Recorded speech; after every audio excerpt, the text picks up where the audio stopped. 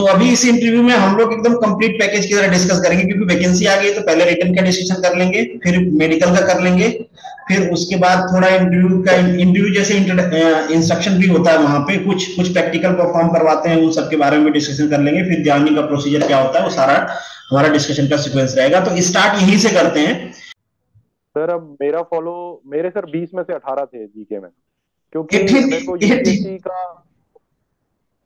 Yes sir sir मेरा score था 18 उसमें थे और 17 इंग्लिश में थे 34 ऑटोमोबाइल में थे। अच्छा। तो वहाँ पे जब रनिंग होती है आपकी तो सारे ऑफिसर्स होते हैं जैसे कमांडेंट भी थे और डीआईजी भी थे जो ऑब्ज़र्व कर रहे थे ऊपर से। अच्छा। और बाकी पानी वगैरह की व्यवस्था बहुत अच्छी होती है। जगह जगह पे कॉन्स्टेबल्स खड़े होते हैं जो आपको मोटिवेट भी करते हैं और पानी भी देते हैं। इंटरव्यू ले रहे थे वो एक एक मिनट में आपको रोकूँगा यहाँ पे।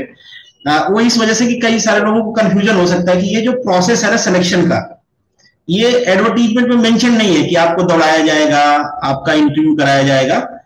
तो शायद कुछ लोग सोचे कि ये है कि नहीं है, या कुछ लोगों को माइंड में ये है कि ये पहले था, इस बार निकाल दिया।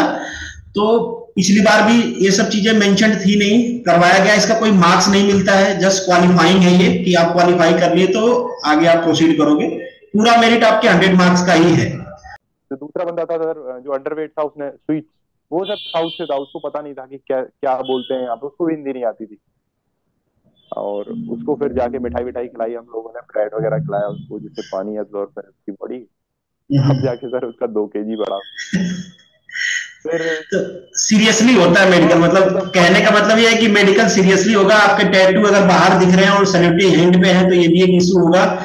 आप रिमूव करवा लीजिए टैटू ये एक ज़्यादा अच्छा आइडिया है कि आप रिमूव ही करवा के जाइए। हाँ अगर कहीं अंदर है तो चलेगा। इधर शोल्डर वोल्डर बनवा रखा है। मान लीजिए किसी महबूब के नाम का नहीं करवा सकते शादी टूट जाएगी। तो, तो ढक लीजिए।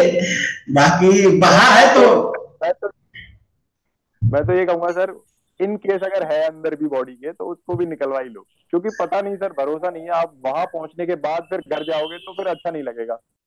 करंट ब्लाइंडनेस माइल्ड लेवल का हो तो भी निकाल देते हैं। अगर पहचान नहीं पाए तो निकाल देंगे। मेरे साथ एक बंदा था सर वो दस में से चार जवाब दे पा रहा था और छह नहीं दे पा रहा था। मतलब माइल्ड था उसको और वो भी। कुछ कुछ कलर्स में था लेकिन उसको नहीं लिया सर। अच्छा। निकाल दिया था उसको। हाँ भाई वो और रिव्यू मेडिकल बम पता चले कि बम पहचानना है कौन सी कलर का वायर काटना है वो कहीं और ही काट काट दिया तो पता चला कि तो नया दूसरों को मिले गया। हालाँकि मैं ये इन जनरल बातें कर रहा हूँ पता नहीं आप लोगों को वैसा कुछ मिले कि ना मिले बम स्क्वाड में। वैसे व्हीकल तो जाती है क्या मालूम आपको भी लगा दे भाई व्हीकल के साथ। तो मैं एक चीज़ और पूछने वाला था भूल गया। कि आप लोगों को यार ट्रक में ले गए मतलब ये जिप्सी उप्सी नहीं दिए ये कुछ मतलब ऐसा नहीं कि सर कम से कम जिप्सी दे दो आज बिठा दो यार अच्छा लगेगा हमें। सर चौबीस पच्चीस बंदे थे आ भी नहीं पाते। कि सर मतलब कोई बात नहीं तीन चार जिप्सी भेज दो हमारे लिए। चलिए तो अब अराउंड अराउंड हमने सारा चीज़ डिस्कशन कर लिया है। अब एक क्वेश्चन मेरा होता है लास्ट में पर आपसे दो क्वेश्चन रहेगा। एक क्वेश्चन तो ये कि आप काफ़ी स्मार्ट दिख रहे हो तो शादी कर लिया आपने या फिर अभी मतलब बैचलर हो स्कोप है? मान लो कोई देख रहा हो तो। मैं मैं सोच रहा हूँ कि अब एक मैट्रिमोनियल भी खोल लो ऐसे इंटरव्यू लेता रहूँगा तो कह दूँगा कि भाई अपनी खाली है बंदा तो आप देख लो अगर पसंद आए। बातचीत भी हो गई इतनी तो ये भी पता चल गया कि नॉलेज कितना है व्यवहार भी थोड़ा पता चल ही जाता है। है कि नहीं? तो यहाँ से ज़्यादा इवोल्यूशन होगा ना। मेरे बॉडी पे कहीं भी टैटू नहीं है महबूब वाला हाँ मतलब देखो, ये ये भी बता रहे हैं कि मेरा पहले से कोई है नहीं तो इसको पूरा है कि आप कांटेक्ट कर सकते हो। डियर इंटरव्यू सीरीज़ में आप सभी का एक बार फिर से स्वागत है। और आपके साथ ही हमारे जो आज के गेस्ट हैं, मेहमान हैं, जो भी कह लीजिए, सौरभ सिंह जी हैं। अभी रिसेंटली इनका सिलेक्शन हुआ है बीएसएफ के एसआई पोस्ट में। फिर से उसकी वैकेंसी आ चुकी है तो बहुत सही टाइम पे हमारा ये इंटरव्यू शूट हो रहा है। तो सौरभ आपका भी स्वागत है। बट थोड़ा सा हमें अपने बारे में ब्रीफ में बताएँ फिर स्टार्ट करते हैं आगे की चीज़ें। First of all thank you sir for inviting me on this platform most welcome most welcome sir नाम तो आपने बता ही दिया इंट्रोड्यूस सौरभ सिंह मेरा नाम है और अगर मैं अपने स्टडीज़ बैकग्राउंड की बात करूँ तो sir I completed my BTech in 2016 उसके बाद ऑटोमोबाइल इंजीनियरिंग से बीटेक किया उसके बाद सर कॉलेज से प्लेस्ड हुआ महिंद्रा में कुछ दिन जॉब किया। फिर उसके बाद से सर मैंने डिसाइड किया कि मैं यूपीएससी सीएपीएफ असिस्टेंट कमांडेंट के लिए प्रिपेयर करूँगा। उसके लिए प्रिपेयर किया।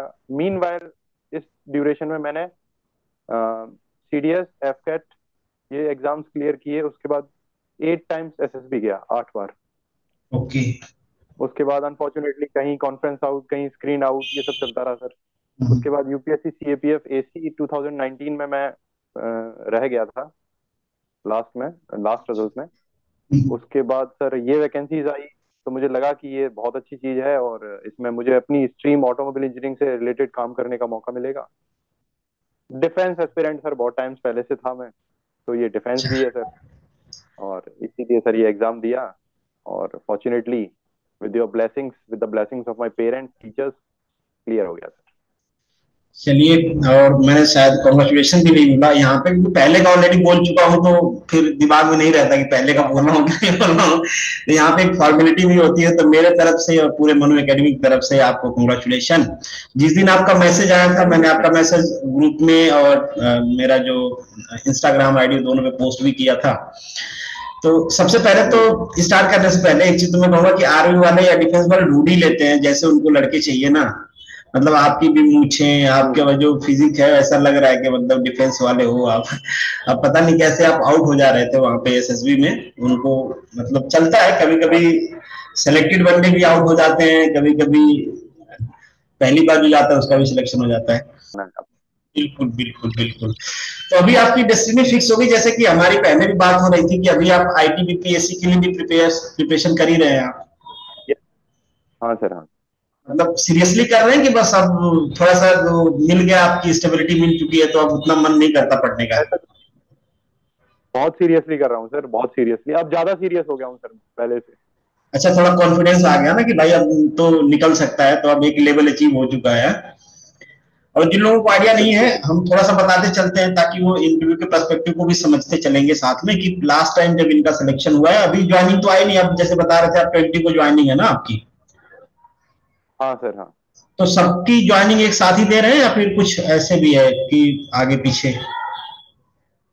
सर ज्वाइनिंग का डेट तो सबका सेम है लेकिन अच्छा। लोकेशन वेरी कर रहे हैं। अच्छा लोकेशन वेरी कर रहा है तो ऐसा क्या आप लोगों को कुछ ट्रेनिंग के लिए बताया कि ज्वाइनिंग के बाद ट्रेनिंग स्टार्ट होगी या कुछ ऐसा बताया प्री शेड्यूल कुछ है या फिर सब वही बताएँगे अभी सर सबको अपना अपना स्टेशन हेडक्वार्टर दिया है जैसे अच्छा। किसी को गुजरात दिया है किसी को कुपवाड़ा दिया है मेघालय नॉर्थ ईस्ट भी जा रहे हैं कुछ लोग अच्छा, बारह ही अच्छा। लोग हैं सर तो हाँ और चलिए उसके बाद सर वहाँ ज्वाइन के बाद फिर ये जो बेसिक ट्रेनिंग है हाँ, हाँ। वो होगा सर अच्छा। अभी श्योरिटी नहीं है सर लेकिन शायद छह महीने का बेसिक ट्रेनिंग है।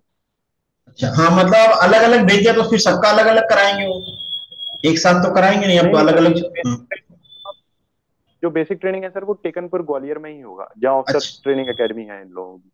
ओके ओके मतलब एक होगा ठीक है तो एक मतलब बेसिक आइडिया मैं दे रहा था कि पिछली बार लास्ट टाइम 11 वैकेंसी थी इस बार फाइव वैकेंसी है कुछ बाकी दो तीन वैकेंसी और भी हैं उसमें भी मैकेनिकल और ऑटोमोबाइल एलिजिबल है तो टोटल नाइन है I think so nine vacancy है। तो तो अभी इस इंटरव्यू में हम लोग एकदम कंप्लीट पैकेज की तरह डिस्कस करेंगे क्योंकि वैकेंसी आ गई तो पहले रिटर्न का डिस्कशन कर लेंगे फिर मेडिकल का कर लेंगे फिर उसके बाद थोड़ा इंटरव्यू का इंटरव्यू जैसे इंस्ट्रक्शन भी होता है वहाँ पे, कुछ कुछ प्रैक्टिकल परफॉर्म करवाते हैं, उन सब के बारे में डिस्कशन कर लेंगे, फिर ज्वाइनिंग का प्रोसीजर क्या होता है, वो सारा हमारा डिस्कशन का सिक्वेंस रहेगा। तो स्टार्ट यहीं से करते हैं कि जब ये वैकेंसी आई, आपने फॉर्म फिलअप कर दिया तो फिर प्रिपरेशन के लिए कैसे प्लान किया आपने कि क्या क्या पढ़ना है, कहाँ से पढ़ना है? क्योंकि इसका जो सिलेबस भी होता है, थोड़ा ऑटोमोबाइल होता है, थोड़ा एक्टर रूल होता है, थोड़ा आईसी इंजन होता है, इस टाइप का सिलेबस होता है।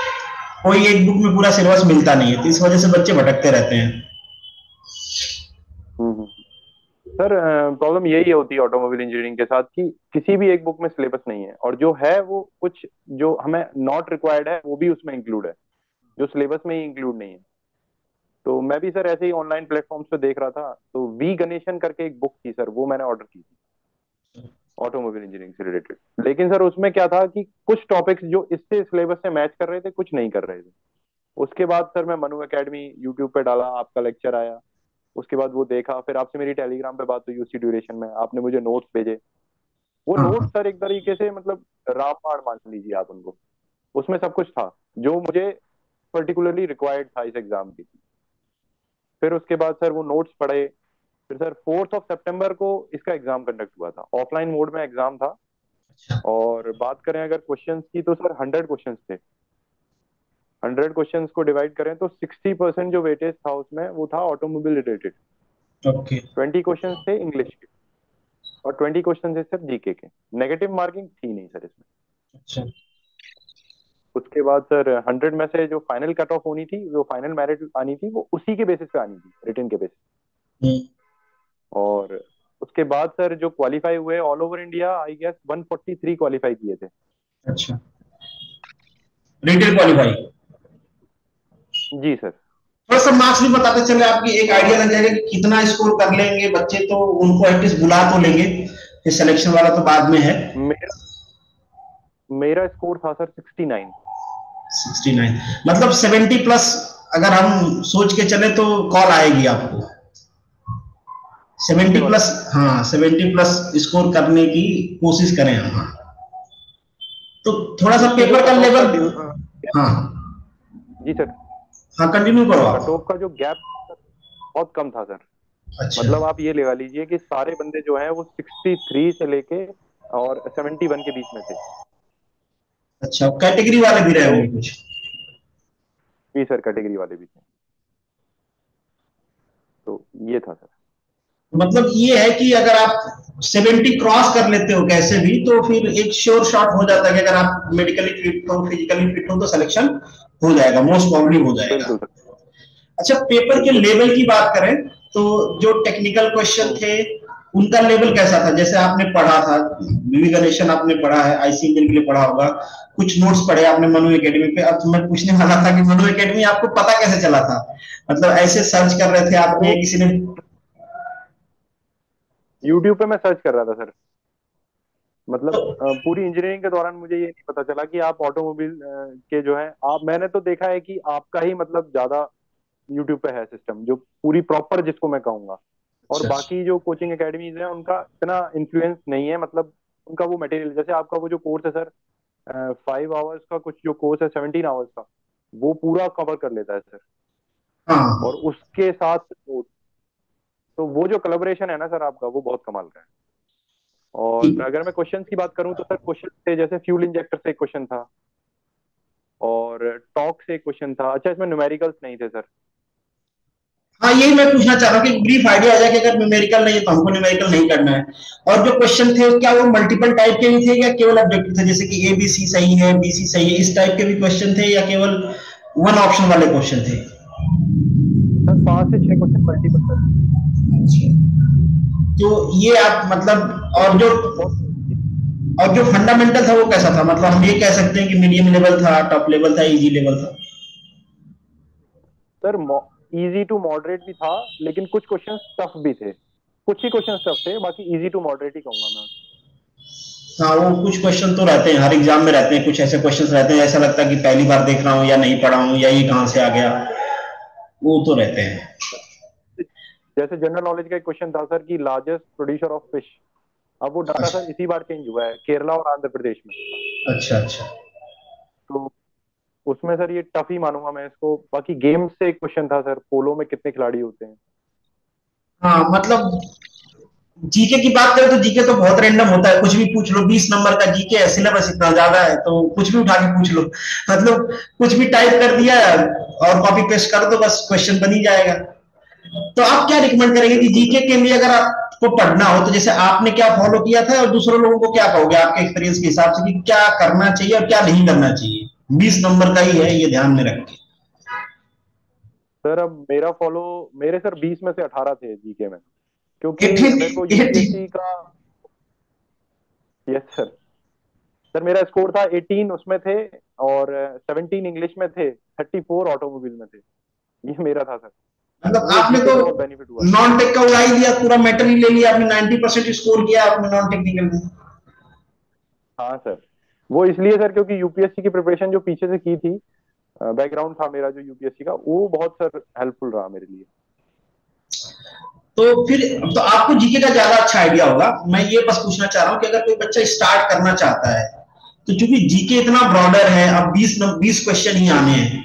तो कोई एक आध टॉपिक आप रिकमेंड करोगे कि ये देख लो शायद एक आध क्वेश्चन दो क्वेश्चन आ जाए आसानी से कर लोगे या फिर कोई स्पेसिफिक टॉपिक जैसे पॉलिटी इकोनॉमिक्स या करंट अफेयर या करंट अफेयर में साइंस एंड टेक मतलब क्या कुछ ऐसे टॉपिक आप रिकमेंड करना चाहोगे जिससे कुछ क्वेश्चन हो जाए आसानी से? सर देखिए एक तो पासिस से आता है क्वेश्चन अच्छा। एक लेक और रिवर हाँ मतलब वो बॉर्डर लाइन है तो शायद वो ध्यान में रख के पूछते होंगे। कि ड्यूटी वहाँ पे करनी है लोकेशन के हिसाब से हाँ हाँ। एक name of the border like Durand line किसका है मैनहट्टन लाइन किसका है तो वो बॉर्डर ये तो मुझे लग रहा है कि आपने पेपर ही लीक कर दिया है क्वेश्चन आएँगे ही आएँगे इसमें से। मुझे भी ऐसा लग रहा है जब आप कह रहे हो तो क्योंकि वो माइंड में उनके रहता होगा कि चूँकि लोकेशन ऐसी है जॉब की तो शायद क्वेश्चन पूछे ही पूछे। ठीक बात और कुछ? वाइल्ड लाइफ सेंचुरी सर हाँ ये भी पूछेंगे। सर दो से तीन क्वेश्चन अच्छा करंट अफेयर से। जी सर अच्छा करंट अफेयर को आपको ऐसा भी लगता है कि वो लिंक कर देते हैं स्टैटिक जीके से कि कुछ करंट अफेयर में किसी चीज़ की बात हो रही है तो वो ना पूछ के उसके रिलेटेड स्टैटिक क्वेश्चन पूछ लिया। ऐसा कुछ करते हैं क्या? अब सर उसमें ये के मूड पे डिपेंड करता है सर या तो स्टैटिक के साथ जोड़ देंगे उसको या तो फिर सीधा स्ट्रेट फॉरवर्ड पूछ लेंगे। और इंग्लिश में ऐसे क्या रिकमेंडेशन होंगे आपके? इंग्लिश में भी बहुत अच्छा स्कोर किया आपने। जीके में सर एक बुक में मेंशन करना चाहूँगा लूसेंट का जीके जो सब लोग जानते ही हैं। हाँ, हाँ जानते हैं। अगर कोई न्यू कमर आ रहा है तो उसके लिए लूसेंट तो उसको तो पढ़ ही लो। लूसेंट पूरा पढ़ लो। और बात कर इस एग्ज़ाम में भी काम आएगा दूसरे में भी काम आएगा। सर बिल्कुल बिल्कुल। वो हर काम हर एग्ज़ाम में काम आएगा। और बात करें सर अगर इंग्लिश की तो उसमें एंटोनिम्स आए थे तीन। सिनोनिम्स थे तीन। और जम्बल सेंटेंस से रेक्टिफाई करने वाला एरर एक अनसीन पैसेज था सर तीन चार ही क्वेश्चन थे उसमें ज़्यादा नहीं थे।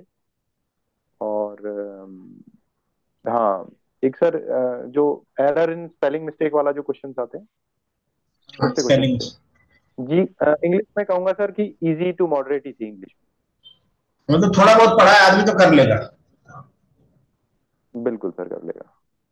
मैराथन क्लास यूट्यूब पे देख लें किसी किसी ने पढ़ाया है तो जिसमें बेसिक फंडा बताए हैं तो हाँ। काम चल जाएगा। हाँ इंग्लिश को ज़्यादा मतलब सर्टेनिटी ज़्यादा इसलिए है सर इंग्लिश की क्योंकि हमें पता है कि एंटोनिम्स आने सिनोनिम्स आने जम्बल्स आने रेक्टिफायर आना है।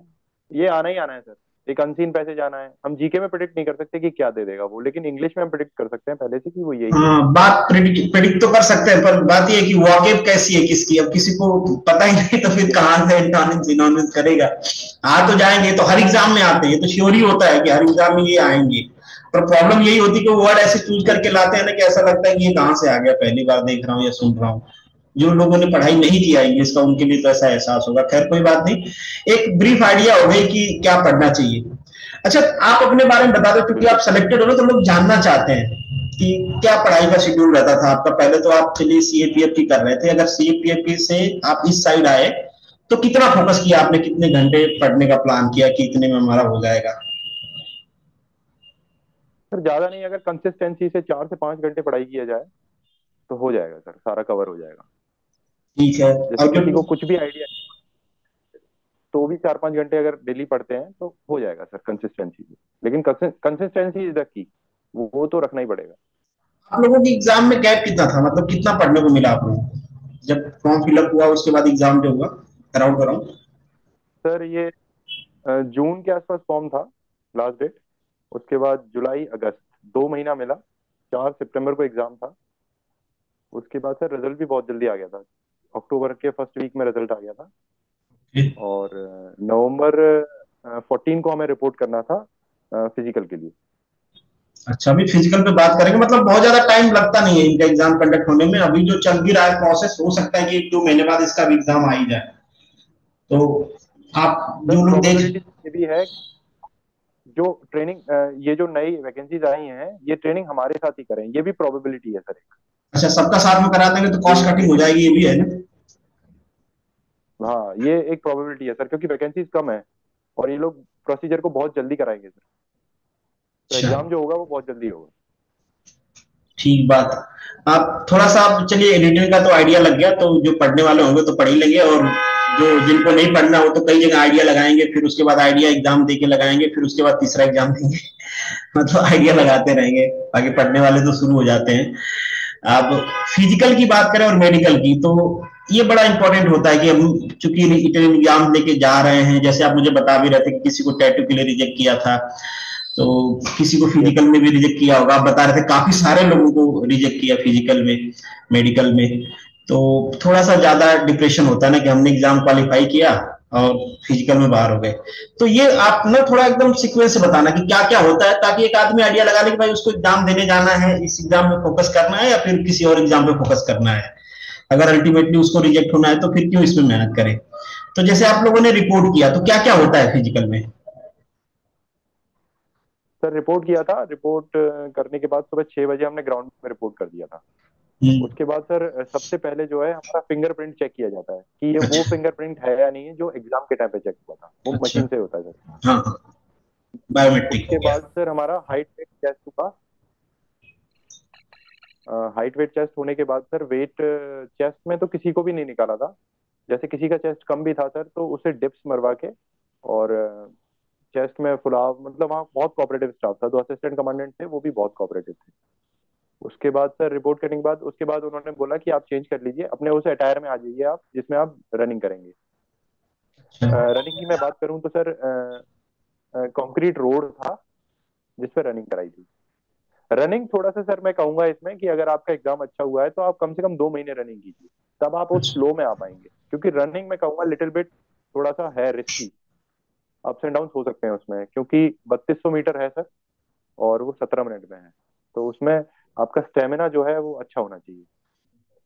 तो उसके बाद सर हम रनिंग के लिए गए। रनिंग का ये रहता है सर कि हम्म, हम लोग बाईस बंदे थे। पचास को रिपोर्ट करना था अट्ठाईस पहुँचे थे वहाँ पे। उसके बाद कुछ बच्चे बंदे जो थे वो सेकेंड डे वाले थे सर। उनको भी दो को अलाउ कर दिया था। क्योंकि अच्छा। उनका डीआरडीओ सेप्टेम्बर का एग्ज़ाम था उस टाइम अच्छा ओके उनको अलाउ कर दिया था। तो वो भी हमारे साथ रनिंग की अट्ठाईस बंदों ने रनिंग की हमने। एक साथ रनिंग की थी सर। तो आगे आगे एक व्हीकल चलता है एक मोटर बाइक थी वो आगे आगे चल रही थी और रिकॉर्डिंग होती है बाकायदा। अच्छा। और हम लोगों ने रनिंग की सफिशियंट टाइम था सत्रह मिनट जिसने प्रैक्टिस की है। तो एक बंदा ऐसा था जिसने रनिंग नहीं कर पाया जो। डिस्कालीफाई हो गया वो। मैंने कंप्लीट कर ली थी सर। डिस्कालीफाई हो गया। मैंने कंप्लीट कर ली थी बारह मिनट पंद्रह सेकंड में। बाकी सबने ही लगभग पंद्रह मिनट के बाद तो कोई नहीं आया पंद्रह मिनट। बाकी अच्छे थे बंदे सारे। तो वहाँ पे जब रनिंग होती है आपकी तो सारे ऑफिसर्स होते हैं जैसे कमांडेंट भी थे और डीआईजी भी थे जो ऑब्ज़र्व कर रहे थे ऊपर से। अच्छा। और बाकी पानी वगैरह की व्यवस्था बहुत अच्छी होती है। जगह जगह पे कांस्टेबल्स खड़े होते हैं जो आपको मोटिवेट भी करते हैं और पानी भी देते हैं। और जैसे किसी के चोट वगैरह थी पहले से रनिंग के दौरान तो उसके लिए डाइक्लोफेनेक ट्यूब वगैरह वो वहाँ अवेलेबल था। उसके बाद सर राउंड थे तो राउंड में जैसे आप एक राउंड पूरा कर रहे हैं तो आपको एक पट्टा मिल जा रहा है। अच्छा। ऐसे कर करके आपको चार राउंड पूरे करने थे। तो चार राउंड का बत्तीस सौ मीटर बन रहा था। थोड़ा डिस्टेंस वैसे भी कवर करवाया था। उसके बाद दौड़ होने के बाद सर जो जो क्वालिफाई थे उन लोगों को डॉक्यूमेंटेशन हुआ। आ, सारे डॉक्यूमेंट्स ओरिजिनल होने चाहिए। और सबसे इम्पोर्टेंट चीज़ जो वहाँ पे ज़्यादा प्रॉब्लम फेस हो रही थी बच्चों को कि जैसे अगर कोई कैटेगरी का बंदा है पर्टिकुलरली ओबीसी का बंदा है तो वो स्टेट का सर्टिफिकेट सर लेके गया था। अच्छा सेंटर वाला चाहिए? जबकि वो लोग बोल रहे थे यस सेंटर वाला सर्टिफिकेट चाहिए। तो ये बहुत प्रॉब्लम आ रही थी सर वहाँ पे।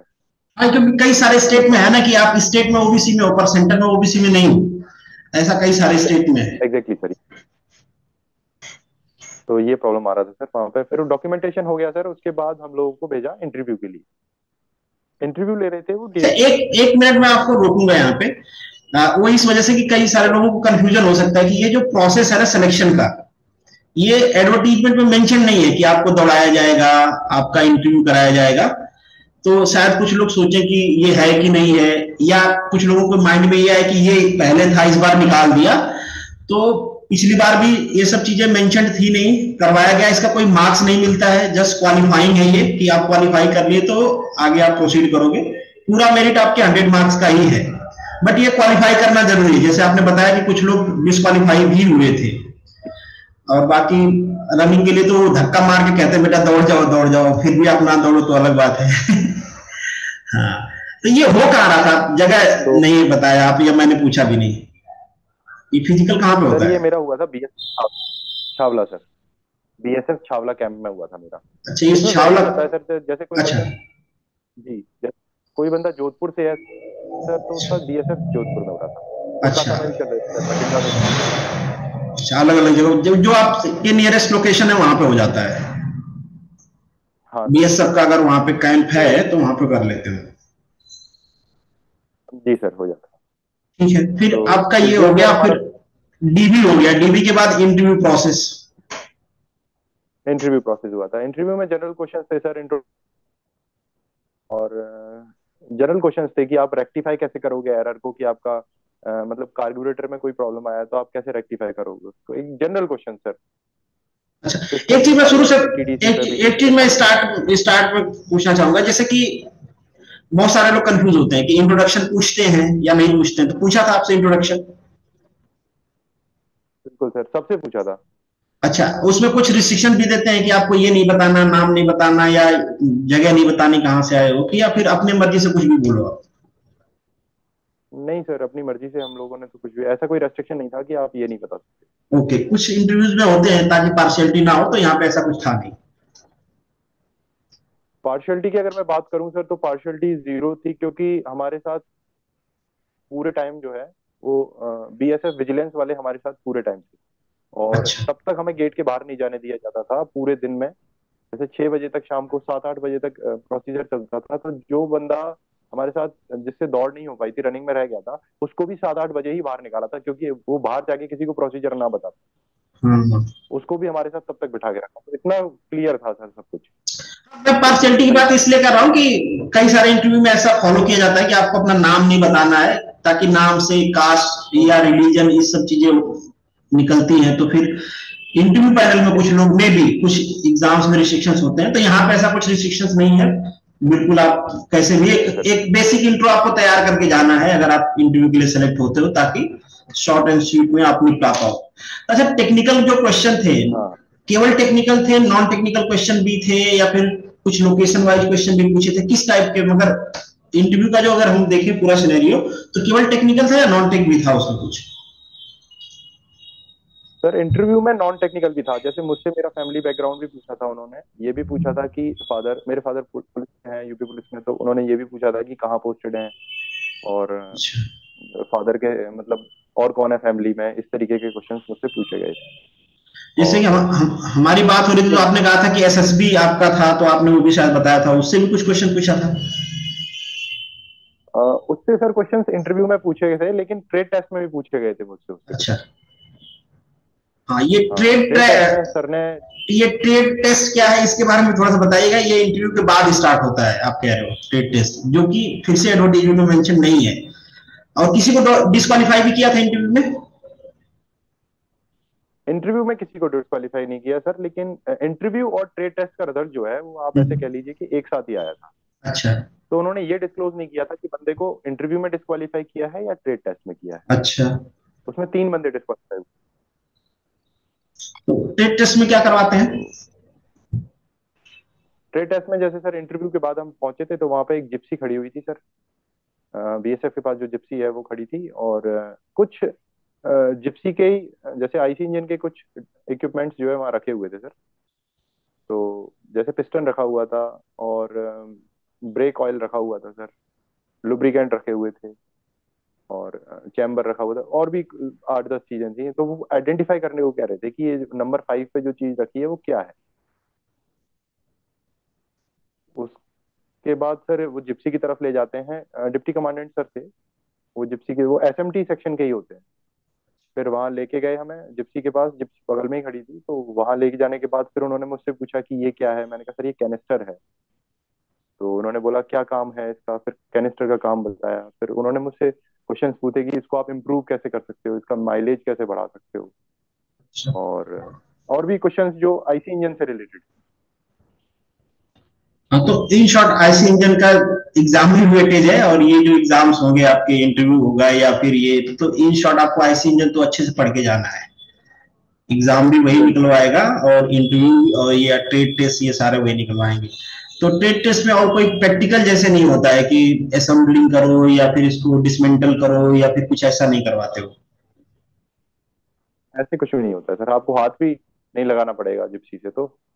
सर ही पूछेंगे स्टिक से ये क्या है, ये क्या है, इसका रोल क्या है, इसका रोल क्या है, इस एरर को कैसे रेक्टिफाई करोगे आप? इस तरीके की चीज़ें आपसे पूछी तो अराउंड अराउंड कितने क्वेश्चन या कितने टाइम का टाइम ड्यूरेशन कुछ इंटरव्यू इतने टाइम में खत्म हो जाता है टेट टेस्ट इतने टाइम में खत्म हो जाता है कुछ आइडिया सर इंटरव्यू की बात अगर हम करें तो पंद्रह से बीस मिनट में इंटरव्यू खत्म हो गया था। ओके ट्रेड टेस्ट की अगर हम बात करें तो twenty to twenty five minute trade test चलता है। तो इंटरव्यू पैनल में कितने लोग थे आपके? सर डीआईजी सर थे लेकिन एडीजी सर भी उनके काफ़ी क्लोज बैठे हुए थे ऑब्ज़र्व कर रहे थे। ओके तो मतलब दो लोग इंटरव्यू पैनल में थे। केवल डीआईजी सर क्वेश्चन कर रहे थे। डीआईजी सर क्वेश्चन कर रहे थे। एडीजी सर थोड़ा सा मतलब सर क्या था कि ओपन में था ग्राउंड में था जहाँ हम लोगों ने रनिंग की थी ना वहीं उन्होंने हाँ, जो अच्छा। आर्मी का होता है ये का टेंट टाइप का हाँ टेंट लगा वो लगा रखा था सर वहीं शुरू कर दिया था सर तो वो एडीजी सर भी वहाँ मौजूद थे वो देख रहे थे कि आपका बॉडी लैंग्वेज क्या है आपका पोस्चर कैसा है बैठने का द वे यू स्पीक उस तरीके की चीज़ें वो ऑब्ज़र्व कर रहे थे तो मतलब ये है कि बहुत ताम जाम वाली चीज़ें नहीं, ये, यही चीज़ें पसंद आती हैं कि भाई चलो हो गया, दौड़ हो गई, अब चलो यही इंटरव्यू दे लो, यहीं पे खाना खाना, यहीं पे सो जाना, फिर सुबह चले जाना, घर कोई बात नहीं। आर्मी का डिफेंस का ये चीज़ें जो होती है, बड़ी ज़बरदस्त होती है। तो अब टेस्ट हो गया आपका और इंटरव्यू हो गया ट्रेड टेस्ट हो गया, दो चीज़ें हो गई। अब इसके बाद आप लोगों से क्या कहा गया कि आप जाइए हम रिज़ल्ट बाद में देंगे या कुछ और आपको इंस्ट्रक्शन दिए गए कि ये करना है। या फिर जब ये सारी चीज़ें चल रही थी तो जो उनकी हॉस्पिटलिटी थी कि खाना पीना आप लोगों का कैसे हुआ ए, बाकी चीज़ें क्योंकि जिसमें टाइम तो लगा होगा ना। आपने मॉर्निंग में रिपोर्ट किया था और ट्रेड टेस्ट खत्म होते होते कितना टाइम हो गया था? सर आठ बज गए थे रात के रात हाँ। और और एक चीज़ और सर जब हमने रिपोर्ट किया था तो उन्होंने हमें बोल दिया था कि आप जो है अपना ईटेबल्स जो है मैं आपका फ्रूट्स वगैरह वो अपने साथ ले लो और कोई भी मेडिसिन वगैरह मत लेना। दौड़ को इम्प्रूव करने के लिए वो सब चेक होगा और बोला कि आप लोग बिस्किट्स वगैरह ले सकते हो। यहाँ से आपको ईटेबल्स नहीं दिए जाएँगे और यहाँ कैंटीन भी नहीं। अच्छा मतलब खाने पीने के सामान खुद लेके जाना है? सर खुद लेके जाना है। लेकिन दौड़ के बाद डीआईजी सर ने वहाँ पे एक लोकल वेंडर को बोल दिया था कि यहाँ पे आप कैंटीन जैसा लगा लो अच्छा। तो वहाँ पे कुछ लोग जो डॉक्यूमेंट वेरिफिकेशन उस टाइम नहीं करा रहे थे जो कुछ लोग करा रहे थे कुछ लोग नहीं करा रहे थे तो वो उन लोगों के उन्होंने खाना पीना कर लिया था हम लोगों को तो नहीं मिल पाया था। तब तक खत्म हो गया था हमारा डॉक्यूमेंट वेरिफिकेशन चला था। अच्छा तो मतलब एक दिन चलो व्रत में निकाल दिए नौकरी के व्रत में और और व्रत सफल हो गया। कुछ लोगों का ना भी हुआ होगा पर आपका तो हो गया ना। हाँ।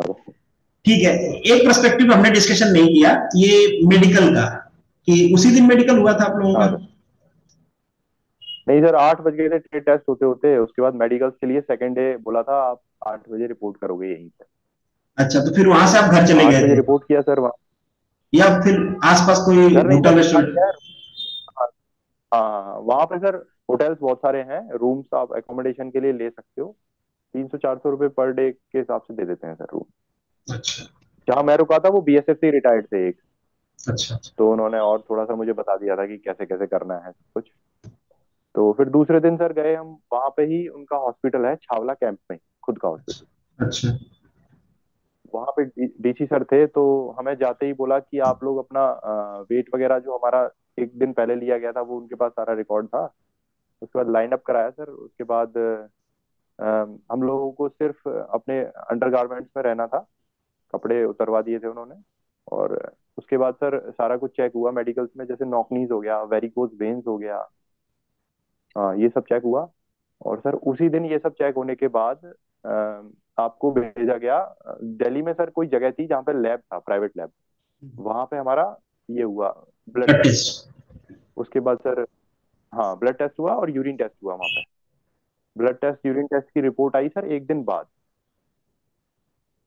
फिर सेकेंड डे मेडिकल्स हुआ, उसमें आई आई साइट का टेस्ट हुआ कलर ब्लाइंडनेस का टेस्ट हुआ। और नोज़ ईयर्स ये सब चेक हुए सर। मतलब every part of the body is checked उसके बाद सर सेकेंड डे हम लोगों को रिज़ल्ट दिया था। मतलब तीन दिन का प्रोसेस हो गया था पूरा। तो मतलब जब जाए तो एकदम पूरा तीन दिन का अपना व्यवस्था करके जाए कि तीन दिन रहना है कम से कम पाँच दिन की व्यवस्था करके जाए। हम्म, हाँ पाँच दिन। हो सकता है किसी बीच में कुछ गड़बड़ी हो जाए या कुछ हो जाए तो। हाँ हाँ। क्योंकि मेरे साथ भी हुआ था सर। हम लोग चौबीस बंदे थे। अट्ठाईस में से चौबीस रह गए थे। तीन ट्रे टेस्ट में निकले थे और एक बंदा हमारा दौड़ में बाहर हो गया। तो अच्छा, टेस्ट में निकाल दिए तीन लोगों को। तीन लोगों को निकाला था सर। प्रॉब्लम ये थी सर कि दो साउथ इंडियंस थे जिनको हिंदी नहीं आता था। अच्छा। कम्युनिकेशन गैप तो हुआ था? हाँ शायद उन्हें हाँ। सर बिल्कुल कम्युनिकेशन गैप हुआ था मुझे ऐसा लगता है। फिर वो सब होने के बाद सर फिर बी चौबीस में से हम बीस ही बंदे थे जो मेडिकल फिट हुए थे। वो सॉरी मेडिकली अनफिट हुए थे बीस बंदे और चार बंदे थे जो मेडिकली फिट हुए थे। अच्छा। जिसमें से कि आप भी थे ऑब्वियसली तभी नहीं सर मैं मेडिकली अनफिट था। एक आप मेडिकल ओवरवेट किया था मुझे। क्या ओवरवेट किया था? यस सर मतलब ओवरवेट एक सीरियस इशू है। कहेंगे कि भाई आप ओवरवेट हो तो फिर आपको आपका भी मेडिकल कब हुआ? हाँ सर वही तो। चार बंदे मेडिकली फिट हुए थे उनको घर भेज दिया उसी दिन। एक डॉक्यूमेंट अच्छा, देके। अच्छा। एक डॉक्यूमेंट भरवाया उनसे और घर भेज दिया। हम लोगों को बोला कि आपको दोबारा से सुबह रिपोर्ट करना है री मेडिकल के लिए। अच्छा। तो सर री मेडिकल का जो अपील था वो फॉर्म भरा हमने। री मेडिकल का अपील का एक फॉर्म होता है वो भरा वहाँ पे साइन सिग्नेचर किए। उसके बाद वो हम ट्रक में बैठा के बीएसएफ वालों में उनको आर के पुरम डेली लेके गए सर आर के पुरम में सर बेस हॉस्पिटल है सीएपीएफ का। ट्रक बिठा के जंगल में नहीं छोड़ देते। ये पकड़ो इनको जंगल में ले जाओ। फील आ रहा था सर ट्रक भी वो मिलिट्री वाला पूरा ट्रक था फील आ रहा था हाँ। पकड़े गए चार चार पाकिस्तान चार पाकिस्तानी पकड़े गए। ले चलो। बिल्कुल सर बिल्कुल। फिर उसके बाद हमें वहाँ आर के पुरम लेके गए सर। वहाँ पे बड़ा हेक्टिक हो गया था सर मामला कि क्योंकि वहाँ पे बहुत सारे रीमेडिकल के केस थे कॉन्स्टेबल्स और कारपेंटर्स वगैरह ये ट्रेड वाले चल रहे थे सर। बहुत लोगों का रीमेडिकल था। तो फिर उसके बाद टैटू वगैरह का केस भी था सर बहुत लोगों का। काफ़ी काफ़ी वेरिकोज वेन्स वगैरह। तो डॉक्टर्स ने बोल दिया था कि री मेडिकल का जब तक बोर्ड बैठेगा तब तक आप ये जो पॉइंट्स हैं आपके वो पॉइंट्स बता दिए थे हमें। जैसे मेरे को बता दिया था मेरा एक के जी ओवरवेट है। अच्छा। एक बंदा था जो साउथ का है विशाखापट्टनम से है वो अंडरवेट था एक के जी मतलब एक एक के जी इंपॉर्टेंट एक के जी तो पानी पी जाते हैं आप। अरे आप तो नहीं मतलब वो बंदा पी जाता, आपको तो पानी निकालना पड़ता।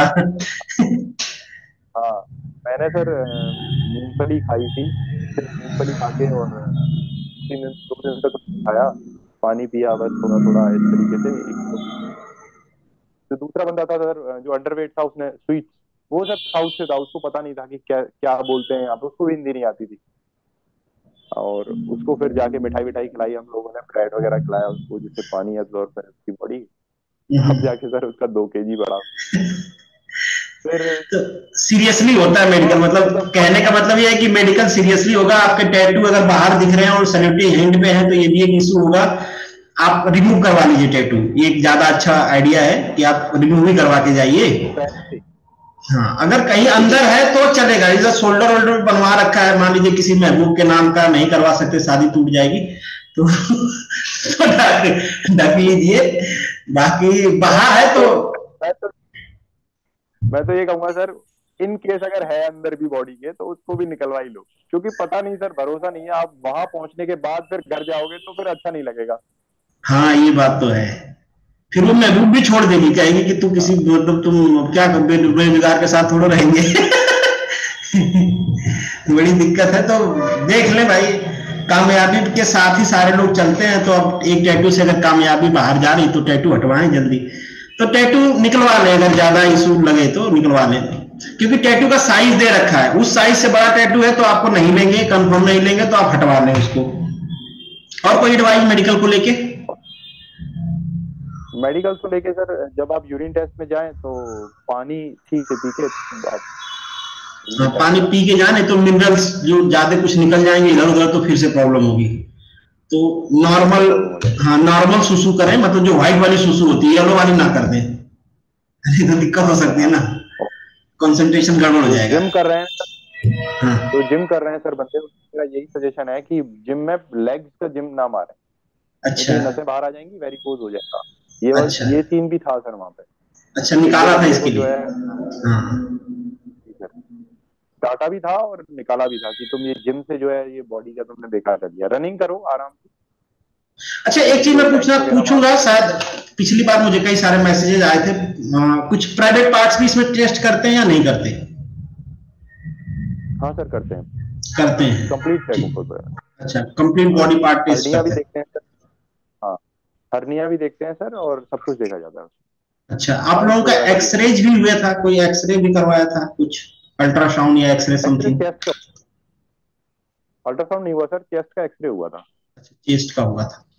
हाँ तो इन सब में अगर आपको इन शॉर्ट किसी को भी किसी कैंडिडेट को कोई प्रॉब्लम है तो उसको पहले से ट्रीटमेंट ले लेना है ताकि वहाँ पे इशू ना हो। री मेडिकल के लिए तो भेजते हैं तुरंत बाहर तो नहीं करते हैं पर ठीक है पहले से आपका तो ज़्यादा बेहतर है नहीं? हाँ एक इश्यू क्रिएट हो जाता है सर फिर उसको सॉर्ट आउट करने में बहुत मेहनत लगती है। किसी को तो रेफर कर दिया सर सीआरपीएफ हॉस्पिटल वहाँ जाओ दिल्ली तो एक क्वेश्चन है कि मतलब इन जनरल हम बात कर रहे हैं कि जो मेडिकल होता है आपका, फिर उसके बाद री मेडिकल होता है और कुछ लोगों को ट्रांसफ़र भी देते हैं। तो कहाँ पे ज़्यादा स्ट्रिक्ट दिखते हैं लोग यहाँ पे भाई एकदम स्ट्रिक्टली है, हर पॉइंट को स्ट्रिक्टली चेक किया जा रहा है या फिर थोड़ी लीनियंसी रहती है कि आगे पीछे हो?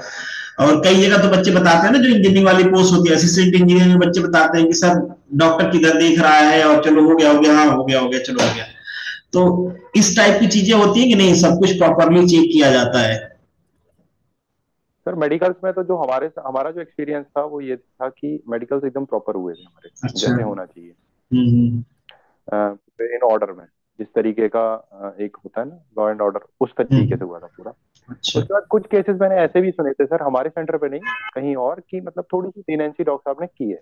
जैसे आपके पास प्रिस्क्रिप्शन है दांतों में वायर है आपके पास प्रिस्क्रिप्शन है तो उसको कर दिया कि ठीक आप ये वायर तब तक निकलवा लेंगे? तो वो अच्छा। चल गया था मतलब टेम्पररी कोई इशू है तो ले लेते हैं। हाँ कहीं कहीं पे। हम्म। ये डिपेंड करता है सर डॉक्टर्स के ऊपर।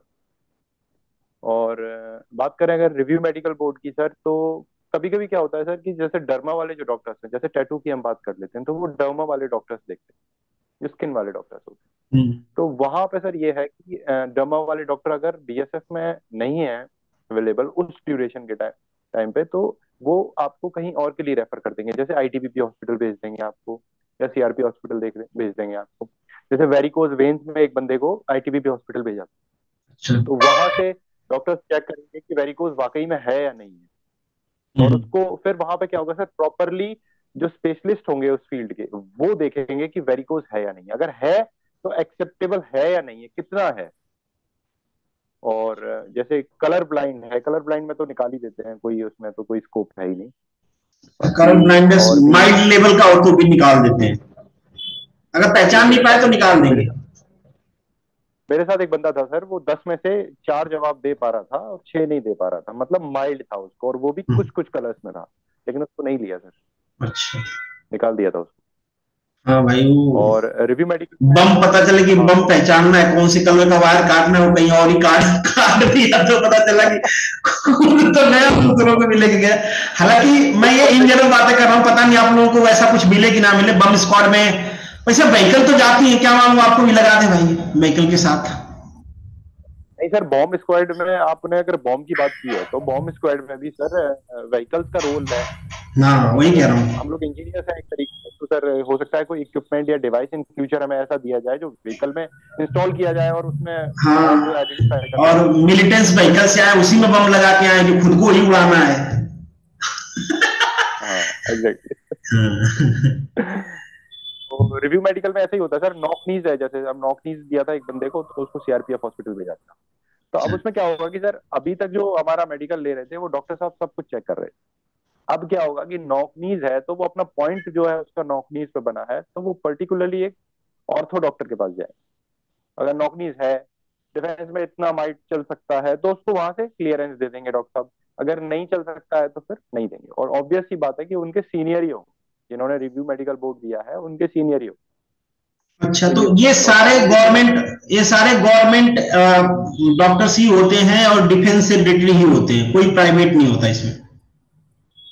सर गवर्नमेंट डॉक्टर्स होते हैं और इनका भी रैंक होता है। जैसे जो हमारे रिव्यू मेडिकल बोर्ड में जो अफसर मैडम थी वो डीआईजी रैंक की। अच्छा। और रिव्यू मेडिकल बोर्ड में तीन मेंबर्स होते हैं मेडिकल के लिए जो डिसाइड करते हैं कि ये चल जाएगा या नहीं चल जाएगा। अच्छा। जैसे मेरा एक के जी ओवरवेट भी उन्होंने डिसाइड किया था म्यूचुअली कि ये इसको एक्सेप्ट करें कि नहीं करें। तो मुझसे कहा था कि आप ट्रेनिंग के टाइम पे कम कर लेना। मैं कहा है हम कर लेंगे। फिर उसके बाद उन्होंने उसे मुझे फिट किया कि हाँ ठीक है यू आर फिट तो ये होता है सर और मतलब टॉलरेबल कमांडेंट सर टॉलरेबल है कि नहीं वो वही डिसाइड करते हैं कि टॉलरेबल है तो ठीक है ले लो।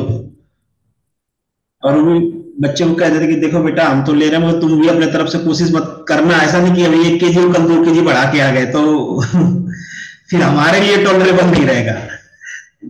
हाँ हाँ हाँ। यही होता है सर।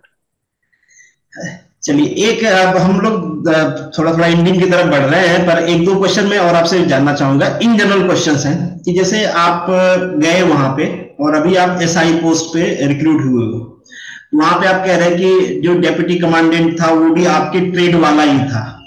तो क्या मतलब कुछ औकात में डिफरेंस समझ में आता है कि एक एसआई का जो लेवल है एक डीसी का जो लेवल है आ, उसके रिस्पेक्ट में उसके वैल्यूज़ में कुछ नज़र आया आपको कि आप ज़्यादा रिजिड हो गए कि मुझे तो आईटीबीपी में अब एसी की तैयारी और स्ट्रेंथ के साथ करनी है? नहीं सर देखिए भोकाल की अगर हम बात करें तो भोकाल तो ऑफिसर है तो वो जो कंधे सजे हुए हैं स्टाफ से तो भोकाल तो उनके पास है ही। अच्छा। लेकिन मुझे बोला था सर ने कि if you are preparing for UPSC CAPF की आपने तैयारी की है तो आपके हिसाब से तो आपको इन्फीरियोरिटी नहीं लगेगी कि मैं जो है कहाँ आ रहा हूँ और मुझे एसी होना चाहिए था। मैं कहा सर वो ट्रेड में काम करने का मौका मिल रहा है फिर डिफेंस फोर्स मिल रहा है। तो वो तो बहुत अच्छा है सर। तो बोले ठीक है पर तुम ओवर क्वालिफाई लग रहे हो मुझे। मैं कहा नहीं सर ऐसा कुछ भी नहीं है। और हम्म। इस पोस्ट के लिए भी I am very happy to serve the nation इस रैंक के लिए भी मुझे कोई दिक्कत नहीं कोई दिक्कत नहीं और इसका हेल्प भी मिलेगा आपको आईटीबीपी में मिलेगा। हाँ सर बिल्कुल मिलेगा। तो मैं एक चीज़ और पूछने वाला था भूल गया कि आप लोगों को यार ट्रक में ले गए मतलब ये जिप्सी उप्सी नहीं दिए ये कुछ मतलब ऐसा नहीं कि सर कम से कम जिप्सी दे दो आज बिठा दो यार अच्छा लगेगा हमें। सर चौबीस पच्चीस बंदे थे आ भी नहीं पाते। कि सर मतलब कोई बात नहीं तीन चार जिप्सी भेज दो हमारे लिए।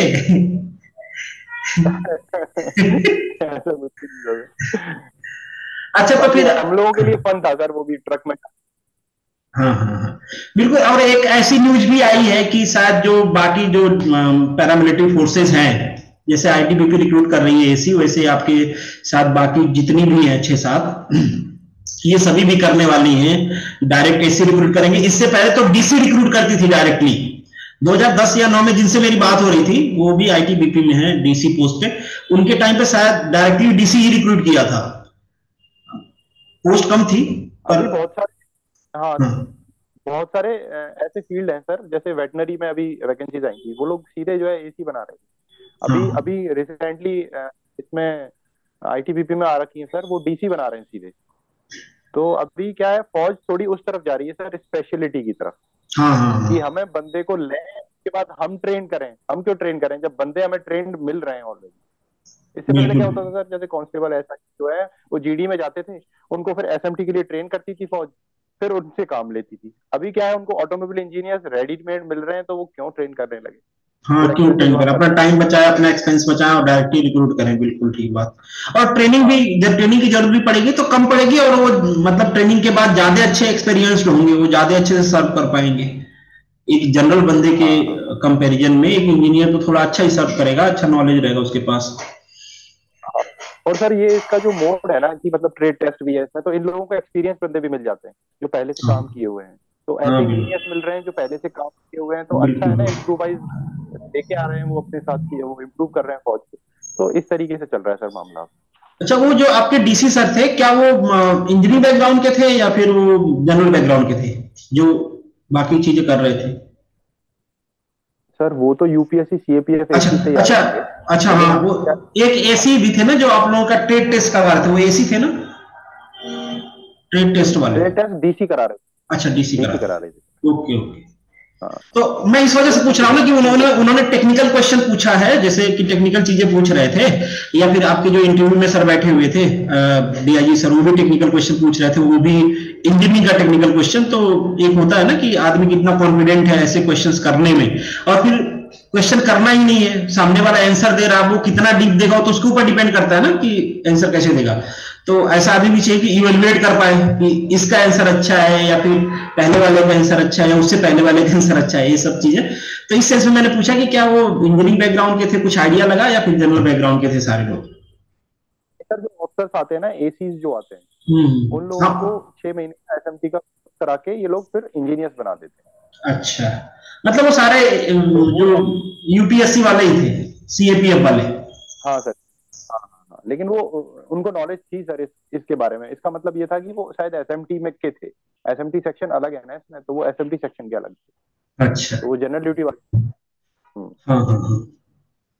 चलिए तो अब अराउंड अराउंड हमने सारा चीज़ डिस्कशन कर लिया है। अब एक क्वेश्चन मेरा होता है लास्ट में पर आपसे दो क्वेश्चन रहेगा। एक क्वेश्चन तो ये कि आप काफ़ी स्मार्ट दिख रहे हो तो शादी वादी कर लिया आपने या फिर अभी मतलब बैचलर हो स्कोप है? मान लो कोई देख रहा हो तो। मैं मैं सोच रहा हूँ कि अब एक मैट्रिमोनियल भी खोल लू ऐसे इंटरव्यू लेता रहूँगा तो कह दूँगा कि भाई अपनी खाली है बंदा तो आप देख लो अगर पसंद आए। बातचीत भी हो गई इतनी तो ये भी पता चल गया कि नॉलेज कितना है व्यवहार भी थोड़ा पता चल ही जाता है। है कि नहीं? तो यहाँ से ज़्यादा इवोल्यूशन होगा ना। खैर ये तो मज़ाक बॉडी पे कहीं क्या चीज़? मेरे बॉडी पे कहीं भी टच नहीं है। महबूब वाला सेक्शन हाँ मतलब देखो, ये ये भी बता रहे हैं कि मेरा पहले से कोई है नहीं तो इसको पूरा है कि आप कांटेक्ट कर सकते हो। ठीक है। एक क्वेश्चन रहता है मेरा लास्ट में कि अगर आप अपने एक्सपीरियंस के हिसाब से कुछ सजेशन देना चाहते हो, ऐसे बच्चों के लिए जिनके पास शायद प्रिपरेशन का एक्सपीरियंस नहीं है, एकदम फ्रेश है और स्टार्ट करना चाहते हैं या प्रिपरेशन करें तो किस तरीके से उनको स्टार्ट करना चाहिए? सर अगर बिल्कुल फ्रेशर हैं तो जो लोग जो लोग प्रिपरेशन कर रहे हैं ना उन लोगों का तो माइंड कैसे होता है कि वो आइडिया देना नहीं चाहते? क्यों? उनको पहले से पता है वो अपने में घिसते पीटते रहते हैं ठीक है? और वो कहते हैं हम दूसरे की आइडिया क्यों नहीं खुद ही पाँच साल से तैयारी कर रहे हैं। हालाँकि सबसे ज़्यादा ज़रूरत उन्हीं को है कि भैया पाँच साल से करना तो हो क्यों नहीं रहा कुछ तो गलती कर रहे होगी। पर मैं कह रहा हूँ कि जो फ्रेशर है क्यों उनके पास आइडिया नहीं होता है थोड़ा तो उनको बताएँ आप क्या करना चाहिए। सर एक वो है ना एक मुहावरा है कि प्यासा कुएँ को ढूंढ ही लेता है हम्म। तो अगर मतलब रिक्वायरमेंट है ना बंदे को जैसे मुझे थी सर तो मैंने यूट्यूब पे डाला उसके बाद सर नोट्स तलाशे तब मेरी आपसे जान पहचान हुई सर आपके चैनल के बारे में पता चला। तो इस तरीके से अब सर अगर बात करूँ फ्रेशर की बिल्कुल फ्रेशर बंदा अगर तैयारी कर रहा है तो ये है सर कि लूसेंट जो मैंने बताया जीके के लिए अभी इतने टाइम में एग्ज़ाम ऐसा है सर जल्दी होने वाला है एग्ज़ाम ये बात तो श्योर है। हम्म, हम्म, तो हम्म। इतना टाइम ड्यूरेशन नहीं लगेगा कि बहुत ज़्यादा लंबा टाइम लग गया जल्दी हो जाएगा। उसके बाद सर ये क्या है कि जब आप लूसेंट हो गया जीके के लिए उसके बाद इंग्लिश के लिए जनरल इंग्लिश जो हमने बताया हमने जो डिस्कस किया कि अनसीन आएगा उसमें कोई भी कहीं से भी प्रैक्टिस कर। एंटोनिम्स सिनोनिम्स पढ़ लो। जनरली हाँ, कुछ भी यूट्यूब वीडियो में रखा मैं तो सजेस्ट करूँगा बहुत टाइम मत दो क्योंकि भाई बहुत कुछ पढ़ नहीं सकते आप उसमें। हाँ, और पता नहीं वो भी आएगा कि नहीं आएगा। हाँ इजी आएगा आप कर लोगे। हाँ, हाँ। और बात करें सर ऑटोमोबाइल इंजीनियरिंग की तो मैं कहूँगा कि आपके जो नोट्स हैं सर, जिनका वो सत्रह घंटे वाला लेक्चर जो पड़ा हुआ है, वो, उसको नोट्स को पहले खुद पढ़ लें, फिर उसके बाद एक बार वो वीडियो देख लें पूरा। एक महीना लगेगा लगभग, उसको अगर कंसिस्टेंट तरीके से देखा जाएगा तो उसको देखें। और सर, अगर जैसे ज्वाइन करते हैं, आपसे पढ़ते भी हैं तो भी वो मतलब मोर देन इनफ है। अगर हम बुक्स के चक्कर में पड़ गए ना जैसे मैं वी गणेशन मैंने बुक ऑर्डर की सर मंगा ली। उसके बाद हम्म। उससे में मैच नहीं होता। ऑटोमोबाइल की बहुत अच्छी जानकारी दे रखी है बहुत अच्छे से डिस्क्राइब हाँ, किया हुआ है आईसी इंजन तो पूरा आईसी इंजन तो ज़बरदस्त लिखा हुआ है। हम्म। हाँ लेकिन सर जो चीज़ रिक्वायर्ड नहीं है ना जो सिलेबस से हमारे कोलेबरेट नहीं कर रही है मैच नहीं कर रहा है तो फिर उसको पढ़ने से मैं नहीं समझता कि कोई वो है। सिलेबस से मैच जो चीज़ सिलेबस से मैच करनी है हमें पीएचडी नहीं करनी है सर हमें पेपर क्लियर करना है। तो वो वाला जल्दी से नोट पढ़ो क्लियर करो बात खत्म। आजकल पीएचडी वालों की कोई इज़्ज़त नहीं है भाई बस डॉक्टर लिख लेते हैं। मतलब खुद ही मनी मन खुश रहते हैं इससे ज़्यादा तो कुछ नहीं है। बड़ी खराब हालत है। मैं बेइज्जती नहीं कर रहा हूँ पीएचडी को अगर कोई कर रहा है तो अच्छी बात है। पर जो रिसर्च का लेवल है जिस तरीके से पीएचडी डिग्री दे रहे हैं कॉलेज वाले एकदम पकड़ा ही दे रहे हैं कि बेटा ले लो किसी तरीके से बस। तो उस सेंस में कह रहा हूँ। तो इन शॉर्ट हमारा अराउंड अराउंड सारे टॉपिक पे डिस्कशन हो गया। अब कुछ बचा नहीं, कुछ बचा है क्या डिस्कशन हाँ एक बात। एक बात हमारी अभी रह गई है। हाँ मैं क्वेश्चन कर लेता हूँ आपसे। अब एक लास्ट टॉपिक और रह गया है कि जो प्रोसेस होता है, कि मान लीजिए सब कुछ खत्म हो गया तो इंतज़ार कितना लंबा होता है क्योंकि जब हम सब कुछ दे के आते हैं ना तो एकदम दिल में धड़कन बनी रहती है यार कि डेली वेबसाइट चेक करें रिज़ल्ट आया कि नहीं आया आ, कब आएगा ज्वाइनिंग कब होगी और दूसरे एग्ज़ाम की प्रिपरेशन भी नहीं हो पाती है यार कि वहाँ पे सब कुछ ठीक हुआ है भगवान हो जाए। तो कितने इंतज़ार के बाद रिज़ल्ट अराउंड अराउंड आ जाता है अब क्या प्रोसेस होता है? मेल करते हैं मैसेज करते हैं या फिर हार्ड कॉपी तो अपलोड हो जाती होगी पर ज्वाइनिंग का जो प्रोसीजर होता है वो क्या होता है? सर हम लोगों का 16 17 नवंबर को जो लोग फिट होने थे हो गए थे। हम लोग अनफिट थे तो हम लोग 24 नवंबर को हम लोग क्लियर हो गए थे फिट बाकी अच्छा। बंदे जो अनफिट थे उनको निकाल दिया अलग अलग पॉइंट्स में। तो ट्वेंटी को मैं फिटनेस सर्टिफिकेट अपना लेके आ गया था जिसको डीआईजी मैम ने साइन किए तो उसके बाद सर हमारा जो रिज़ल्ट आया वो सिक्स ऑफ़ जैन को आया। मैं डेली जो है वेबसाइट चेक करता रहता हम्म। कि अब आया अब आया अब आया। तो सर वो आया सिक्स ऑफ़ जैन को शाम को सात बजे मैंने चेक किया था। तो मज़ा आ गया देख के। आप चेक किया मज़ा आ गया सर बहुत मज़ा आ गया। और किसको बताया आपने सबसे पहले? सबसे पहले मम्मी पापा को बताया दूसरे रूम में थे वो जाके गया वहाँ बताया फिर कैसा रिएक्शन था उन लोगों का? मतलब उस रात में मतलब शॉक मतलब बहुत अच्छा रिएक्शन था। उन्होंने मतलब दे आर वेरी हैप्पी ठीक है फिर फिर क्या हुआ? अच्छा इसका कोई मेल नहीं किया उन्होंने कि आपका रिज़ल्ट आ चुका है बस अब अपलोड कर दिया साइट पे। हाँ।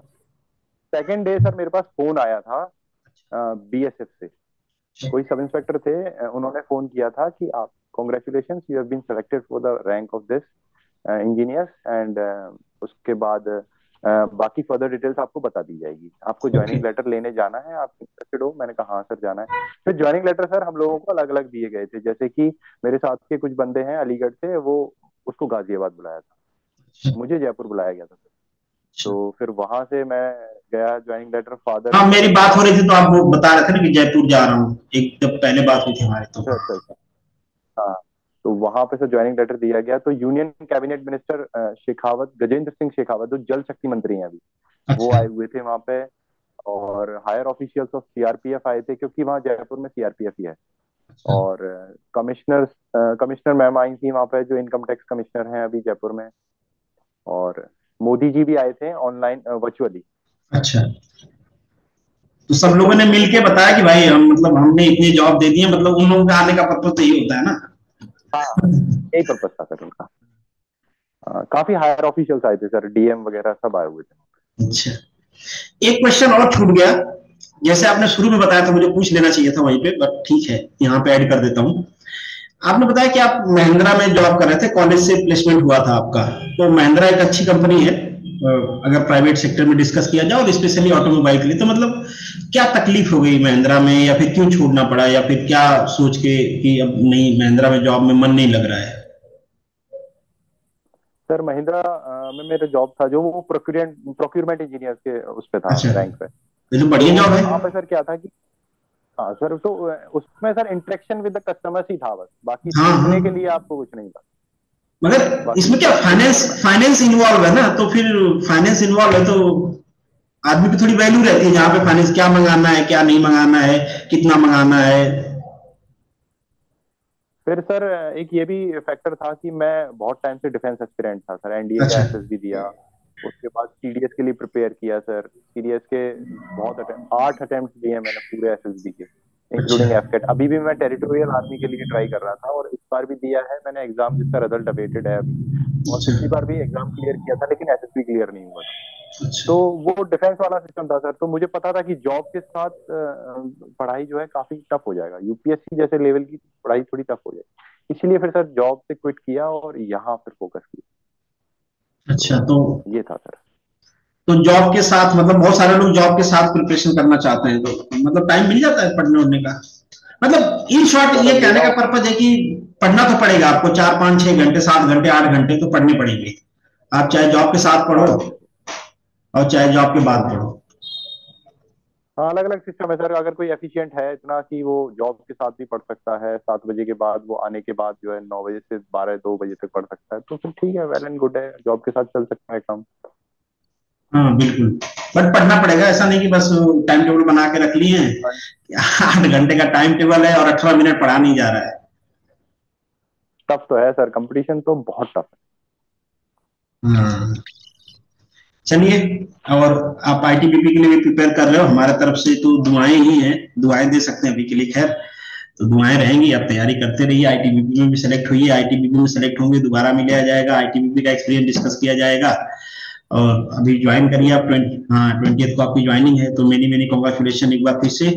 और भविष्य के लिए अब दो ही चीज़ ज़रूरी होती है ना दो ही चीज़ इंपॉर्टेंट होती है लाइफ में। एक तो होता है कि आदमी का करियर सेट हो जाए एक लाइफ पार्टनर बढ़िया मिल जाए। तो लाइफ पार्टनर का भी हमने यहाँ कुछ डिस्कशन किया है अगर अंकल आंटी को कोई पसंद आ गया तो सेट हो जाएगा। और अंकल आंटी को मेरे तरफ़ से आप प्रणाम कहना ठीक है? बाकी बाकी चलिए मिलेंगे कभी। All the best. Okay, sir. Thank you. Thank you, sir. Okay, sir.